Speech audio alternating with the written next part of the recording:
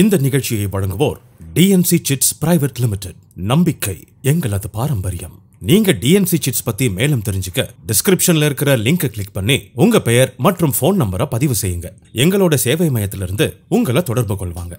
சிட்டுன்னா DNC சட்டுன்னு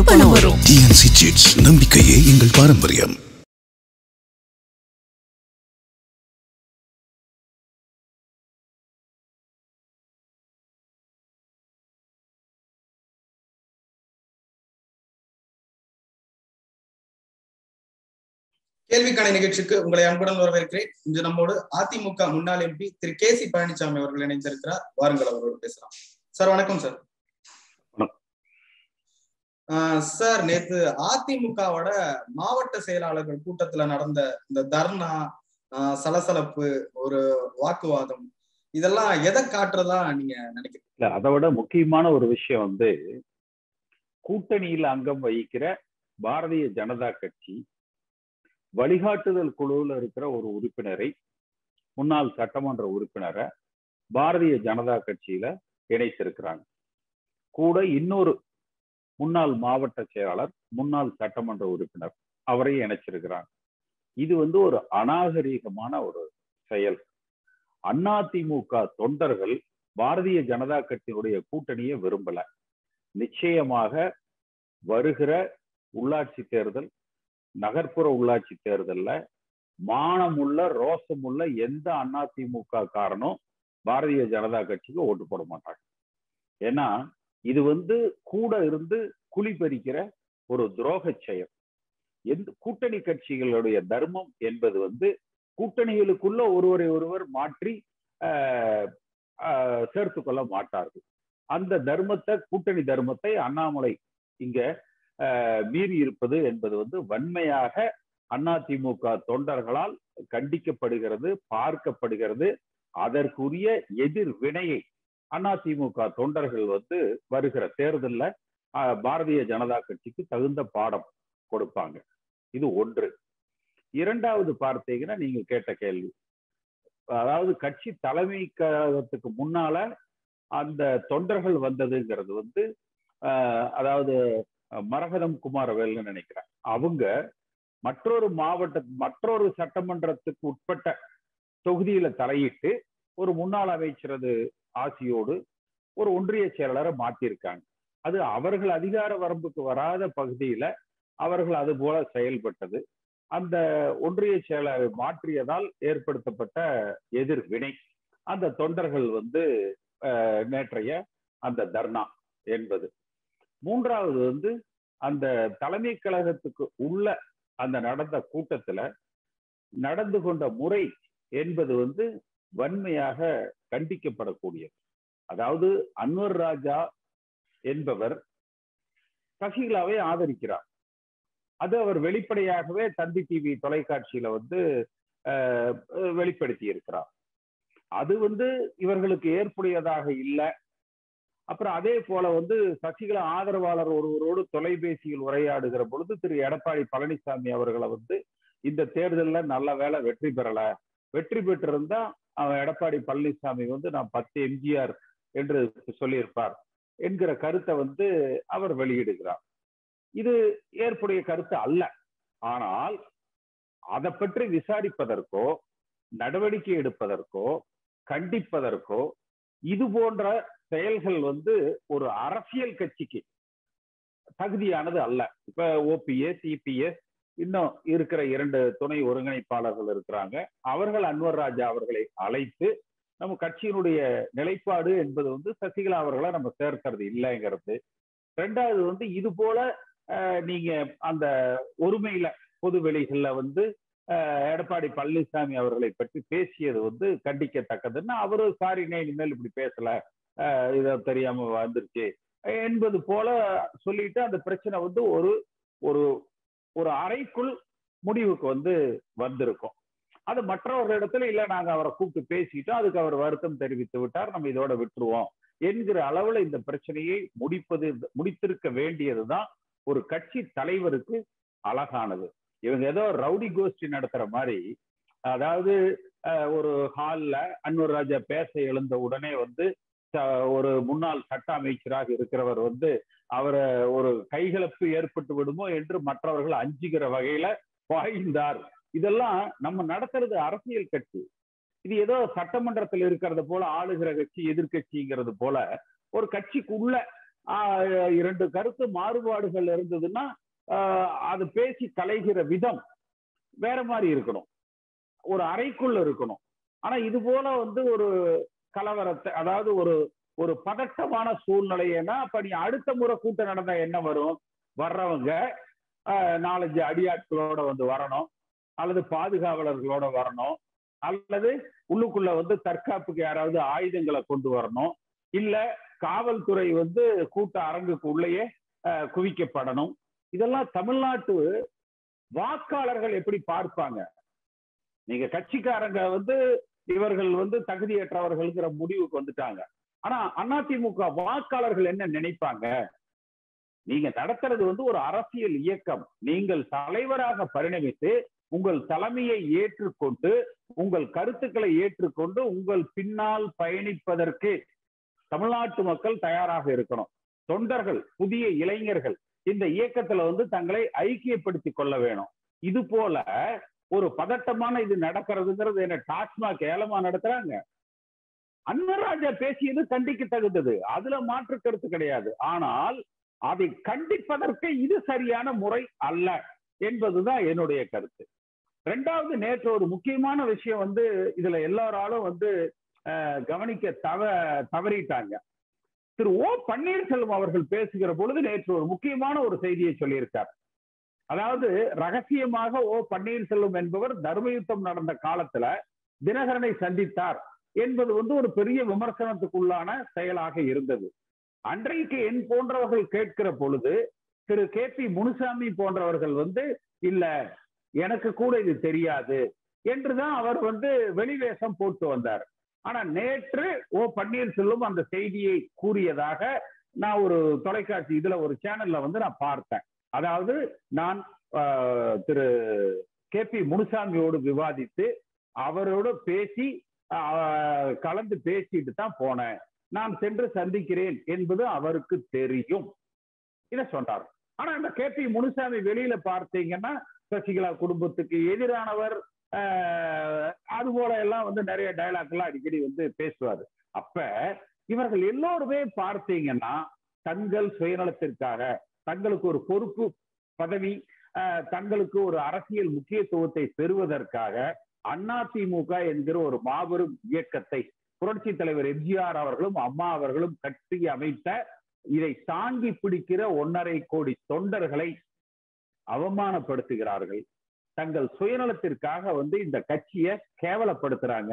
தலைவர்களுக்கு உரிய தகுதிகளோடு இவர்கள் நடந்து கொள்ளவில்லை என்பதைத்தான் வந்து இது காட்டும் திரு அன்வர் ராஜா அவர்கள் ஏறக்குறைய நீங்க சொன்ன கருத்தை தான் அவரும் சொல்லியிருந்தாரு. எம்ஜிஆரை வந்து துரைமுருகன் கடுமையா விமர்சிக்கிறாரு.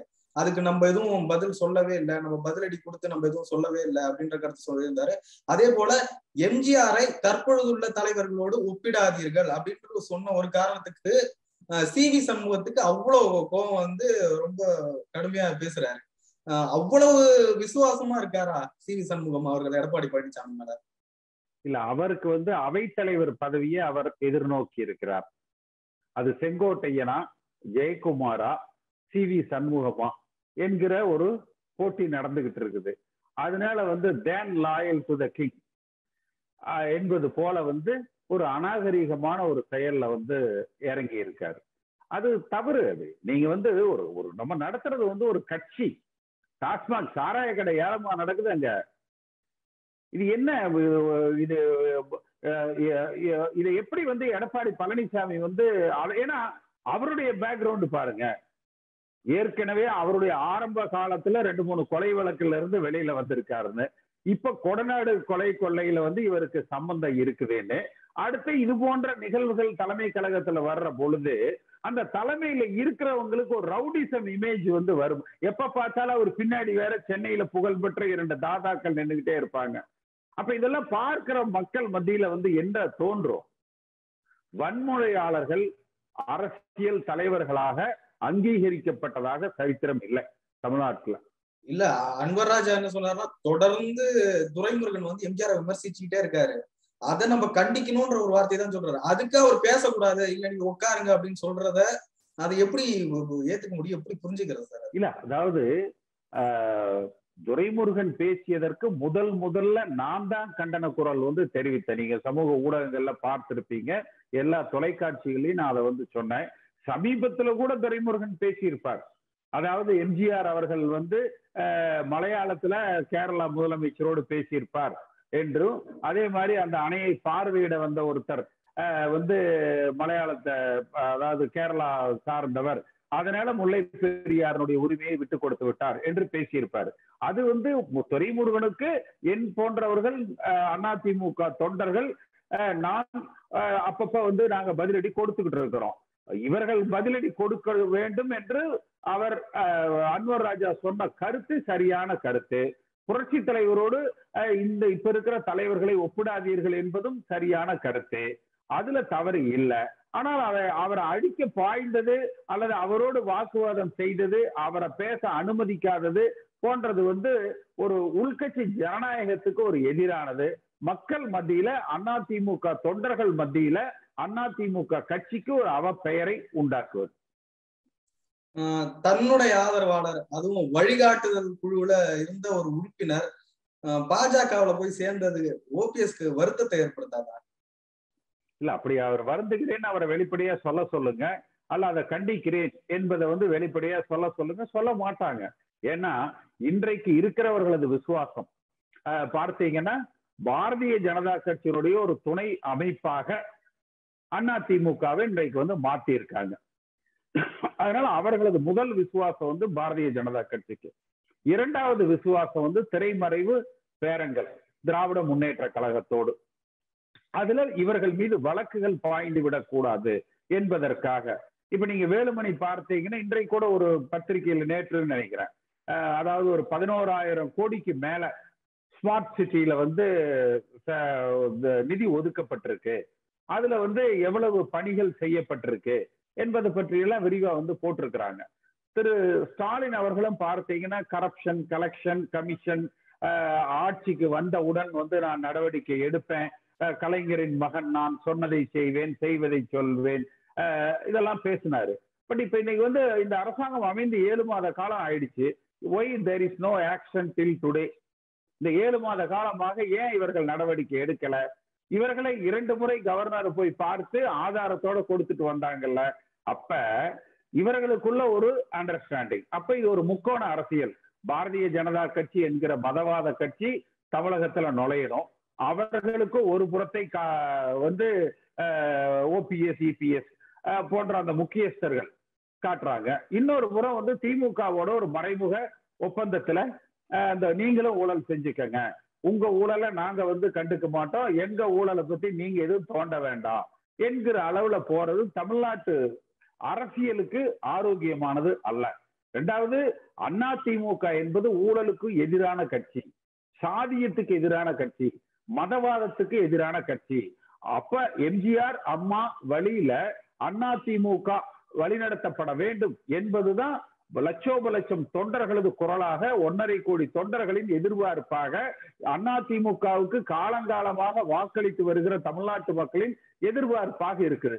அந்த எதிர்பார்ப்புக்கு ஏற்ப இவர்கள் இபிஎஸ் ஆகட்டும் ஓபிஎஸ் ஆகட்டும் கே பி முனுசாமி ஆகட்டும் சி வி சண்முகம் ஆகட்டும் வேலுமணி ஆகட்டும் எல்லாருமே யாருமே இதுல வந்து நடந்துக்கல என்கிற வருத்தம் தான் அதிகமா இருக்கு.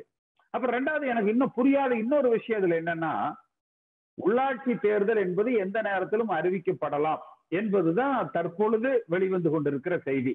வேணா அது டிசம்பர் மாசம் வரும் இல்ல ஜனவரி மாசம் வந்து வரும். ஆனா நிச்சயமா டிசம்பர் ஜனவரியில வந்து அந்த உள்ளாட்சி தேர்தல் நகர்ப்புற உள்ளாட்சி தேர்தல் நடத்தப்படும் சொல்றாங்க. இதுல டிசம்பர் ஒன்னாம் தேதி வந்து செயற்குழுவை போட்டு அதுல என்ன பிரச்சனையை வந்து பேச போறாங்க? இன்னும் சண்டையை பெருசு பண்ண போறாங்களா? அல்லது ஏதேனும் ஒரு மாறுதல்களை செய்து எடப்பாடி பழனிசாமியும் ஓ பன்னீர்செல்வம் இவங்களுக்குள்ள ஏதேனும் திரைமறைவு ஒப்பந்தங்கள் வந்து நடந்திருக்கா? அப்படி அவைத்தலைவர் யார் என்பதுல ஏதேனும் குளறுபடிகள் வந்ததுன்னா அது நகர்ப்புற உள்ளாட்சி தேர்தலை பாதிக்காதா? அப்ப ஏன் இந்த நகர்ப்புற உள்ளாட்சி தேர்தல் முடிந்ததற்கு பிறகு கட்சியில செயற்குழு பொதுக்குழு போன்றவற்றை கூற்றி முடிவெடுக்கலாம்னா இவர்களுக்கு நகர்ப்புற உள்ளாட்சி தேர்தலில் வெற்றி பெறுவோம் என்கிற நம்பிக்கை இல்லை. அப்ப நகர்ப்புற உள்ளாட்சி தேர்தலுக்கு பிறகு அதிமுக தொண்டர்கள் திரண்டு வெகுண்டு எழுந்து இவர்கள் தலைமையை கேள்வி கேட்பார்கள். அதற்கு முன்பாக நாம் அந்த செயற்குழு மூலமாக பொதுக்குழு மூலமாக இவர்களது தலைமையை உறுதிப்படுத்துகிற நடவடிக்கையிலே வந்து இறங்கி இருக்கிறாங்க ஆனால் தொண்டர்கள் சக்திக்கும் மக்கள் சக்திக்கும் முன்னால இவங்களுடைய அந்த நரித்தனங்கள் நிச்சயமா வந்து இந்த மாதிரியான குறுக்கு சிந்தனைகள் வந்து வெற்றி பெறாது. இப்ப அதிமுக கூட்டணியில பாஜக இருக்கு. இப்ப திடீர்னு ஒரு அதிமுகவுல இருக்க ஒரு முக்கிய நிர்வாகி போயிட்டு பாஜகவுல இணையறாரு. இத பாஜகவும் ஏத்துக்குச்சு கூட்டணி கட்சின்னு பார்க்காம. இத அதிமுக அமைதியா கடந்து போறத எப்படி சார் புரிஞ்சுக்கிறது? அடிமைகள் தானே. அடிமைகளுக்கு உரிமைகள் இல்லைங்கிறது அவங்களுக்கு தெரியும் இல்லையா? இவர்கள் வந்து ஒரு எதிர்வினை ஆற்றிருக்க நேற்று அதை கண்டிச்சு தீர்மானம் போட்டிருக்கணும். இனிமேல் எந்த காலத்திலும் நாங்கள் பாரதிய ஜனதா கட்சியோடு கூட்டணி வைக்க மாட்டோம். நாங்கள் பாரதிய ஜனதா கட்சியை எங்க கூட்டணியிலிருந்து நீக்கிறோம் என்று அவர்கள் பேசி இருக்கணும் இல்லையா நேற்று? ஏன் வீராவேசம் பேசுகிற சி வி சண்முகம் அதை நேற்று சொல்லியிருக்கலாமே? ஏன் அவர் அதை சொல்லல? அதிமுக தொண்டை நினைப்பது பாரதிய ஜனதா கட்சி கூட்டணி இல்லாமல் பாரதிய ஜனதா கட்சியையும் திமுகவையும் ஒரு சேர எதிர்த்து நாம் இந்த இயக்கத்தை வழிநடத்த வேண்டும். வெற்றி பெறுகிற இயக்கமாக தமிழகத்தை ஆளுகிற இயக்கமாக வலிமைப்படுத்த வேண்டும் என்றுதான் நினைக்கிறாங்க. ஒரு குறைந்தபட்ச கண்டன குரல் கூட கண்டன அறிக்கை கூட இவர்களிடத்துல இருந்து வெளிவரல. என்பது எதை காட்டுது? இவர்கள் பாரதிய ஜனதா கட்சி இடத்துல தங்களை தங்கள் குடும்பத்தை தாங்கள் சம்பாதித்ததை தங்கள் சொத்துக்களை காப்பாற்றிக் கொள்வதற்காக வெளிப்படையாகவும் மறைமுகமாக திராவிட முன்னேற்ற கழகத்திடத்தும் மண்டியிட்டு இருக்கிறார்கள் என்பதைத்தான காட்டுது. பத்து புள்ளி அஞ்சு சதவீத இடஒதுக்கீடு அதை கொடுத்ததுனாலதான் தேர்தல்ல தோல்வி ஏற்பட்டது அப்படின்னு ஓபிஎஸ் பேசுறாரு. ஆஹ் இந்த விவாதமும் நேற்று கூட்டத்துல போனதா செய்திகள் வருது. அதுக்கு இபிஎஸ் என்ன சொல்றாருன்னா நான் மட்டுமா கொடுத்தேன் எல்லாம் சேர்ந்து தானே கொடுத்தோம் அப்படின்னு பேசியிருக்காரு. இபிஎஸோட இந்த தன்னிலை விளக்கம் ஏற்புடையதா இருக்கா? இல்ல அதாவது ஒரு துணை முதலமைச்சராக ஆஹ், ஓ பன்னீர்செல்வம் என்பவர் அப்படி ஒரு அறிவிப்பு இப்ப வேண்டாம். எல்லா அமைச்சர்களுமே ஏன்னா அரசாங்கத்தினுடைய முடிவு அரசாங்கத்தினுடைய முடிவு அறிவிக்கப்படுகிற பொழுது அத அமைச்சரவை கூடி இல்ல இது வேண்டாம் என்கிற கருத்துக்களை வந்து ஆஹ், சொ- சொல்லியிருக்கலாம். அதை எல்லோரும் இடத்திலும் விவாதிக்கப்பட்டு தான் அந்த செயல். அந்த ஒதுக்கீடு உள் ஒதுக்கீடு அறிவிக்கப்பட்டது என்பது எடப்பாடி பழனிசாமி. நம்மளை பொறுத்த வரைக்கும் இதுல எடப்பாடி பழனிசாமி குற்றம் செய்திருக்கிறாரா? ஓ பன்னீர்செல்வம் செய்திருக்கிறாரா இரண்டு பேருமே சுயநலவாதிகள். இரண்டு சுயநலவாதிகள்ல எந்த சுயநலவாதி சிறந்தவர் என்ப- என்பதை மட்டுமே நம்ம ஆப்ஷனா வைக்கணுங்கிற அவசியம் இல்லை. இவர் நீங்கள் அத்தனை பேரும் உத்தமர் தானா சொல்லுங்கள். இதுதான் அதிமுக தொண்டன் கேட்கிறது இதுக்கு முன்னாடி வழிகாட்டுதல் குழு அமைக்கப்பட்டது. ஆனா அந்த வழிகாட்டுதல் குழுக்கு எந்த அதிகாரமுமே கொடுக்கப்படாம இருந்தது. இப்ப திடீர்னு செங்கோட்டையன் வந்து அந்த வழிகாட்டுதல் குழுவுக்கு அதிகாரம் கொடுக்கப்படணும் அப்படின்னு பேசுறாரு. ஆனா அந்த வழிகாட்டுதல் குழுவை போட சொன்ன ஓபிஎஸ் அமைதியா இருக்காரு. இது என்ன சார் அரசியல் உள்ள நடக்குதுன்னு புரிஞ்சுக்க முடியலையே. இல்ல அதாவதுங்க இதுல வந்து அதான் நான் சொல்லிட்டு இருந்தேன். ஒரே வாரியில. அதாவது இது வந்து புரட்சி தலைவர் எம்ஜிஆர் அது ஒரு பாட்டு. நீங்கள் அத்தனை பேரும் உத்தமர் தானா சொல்லுங்கள். இவ்வளவுதான். இல்ல இவர்கள் எல்லோருமே இப்ப நீங்க இதே செங்கோட்டையன் வந்து சட்டமன்றத்துல திமுகவை பத்தி என்ன பேசினாரு? சட்டமன்றம் மிக கண்ணியமாக நடத்தப்படுகிறது. இப்ப திரு ஸ்டாலின் தலைமையிலன்னு சொன்னாரு. ஏன்? பள்ளி கல்வித்துறை சார்ந்த ஃபைலை அவங்க எதுவும் ஊழல் வழக்குகளுக்கு எடுத்துக்க கூடாதுன்னு. ஓ பன்னீர்செல்வம் என்ன சொன்னாரு? அவருடைய தந்தையார் வந்து கலைஞரது தீவிர பக்தர். ஓ பன்னீர்செல்வமே கலைஞர் எழுதிய வசனங்களை படித்து வளர்ந்தவர். இதைத்தானே சொன்னாரு?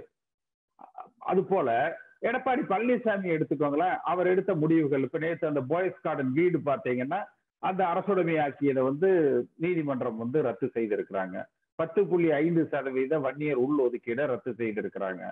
ஆல் பாஸ் போட்டாரு அதை ரத்து செய்திருக்கிறாங்க. மிக விரைவாக அண்ணா திமுகவினுடைய சட்ட விதிகளை இவர்கள் திருத்தியதை நீதிமன்றம் ரத்து செய்யும். அது இருபத்தி இரண்டாம் ஆண்டுல நடக்கும். அதுதான் அண்ணா திமுகவை பாதுகாக்கிற ஒரு செயலாக இருக்கும்.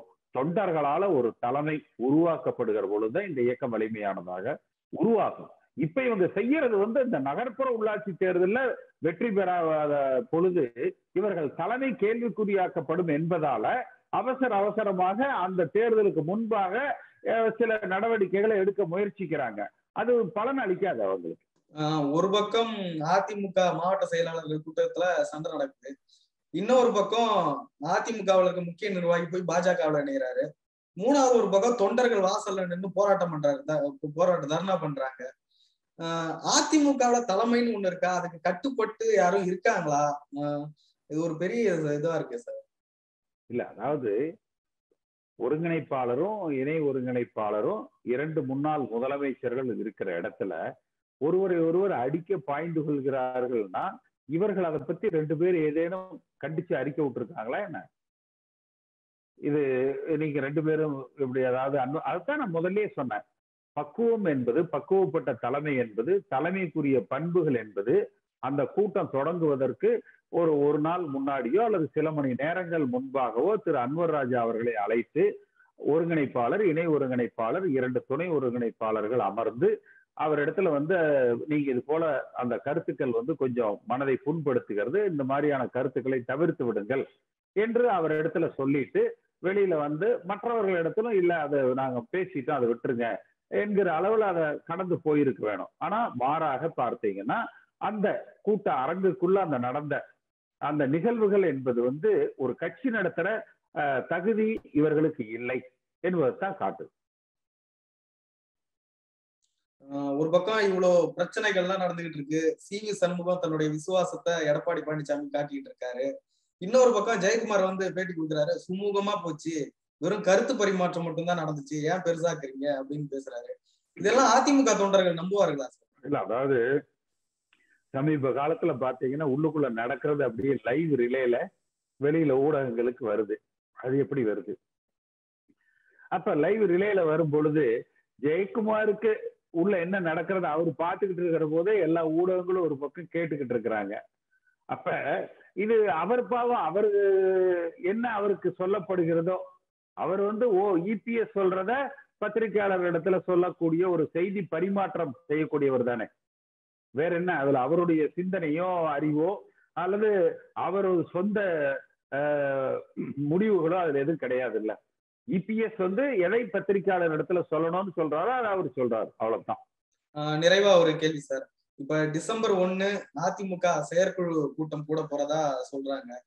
அடுத்த கட்டமா அதிமுகவுல என்ன நடக்கும் அப்படின்னு எதிர்பார்க்கணும் அது நம்ம டிசம்பர் ஒண்ணாம் தேதி வரைக்கும் பொறுத்து இருந்து ஒண்ணாம் தேதி ரெண்டாம் தேதி நம்ம வந்து பேசுவோம். அடுத்த கட்டமாக அதிமுக எதிர்காலம் என்பது இந்த சுயநலவாதிகள் அப்புறப்படுத்தப்படுவார்கள்.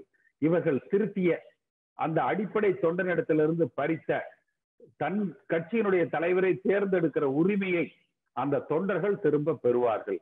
அந்த தொண்டர்கள் மூலமாக ஒரு தலைமை அதிமுகவுக்கு உருவாக்கப்படும். லஞ்ச ஊழலுக்கு எதிரான தலைமையாக சாதிய மதத்திற்கு எதிரான தலைமையாக பிஜேபியையும் திமுகவையும் ஒரு சேர எதிர்த்து வலிமையான அதிமுகவை வழிநடத்துகிற தலைவராக தலைமையாக அது வந்து உருவெடுக்கும். அது வரைக்கும் நம்ம வந்து கொஞ்சம் பொறுத்து இருப்போம் நன்றி சார். எங்களோட கருத்துக்களை இந்த நிகழ்ச்சியை வழங்கியோர் டிஎன்சி சிட்ஸ் பிரைவேட் லிமிடெட் நம்பிக்கை எங்களது பாரம்பரியம். நீங்க டிஎன்சி சிட்ஸ் பத்தி மேலும் தெரிஞ்சுக்க டிஸ்கிரிப்ஷன்ல இருக்கிற லிங்கை கிளிக் பண்ணி உங்க பெயர் மற்றும் ஃபோன் நம்பரை பதிவு செய்யுங்க. எங்களோட சேவை மையத்திலிருந்து உங்களை தொடர்பு கொள்வாங்க.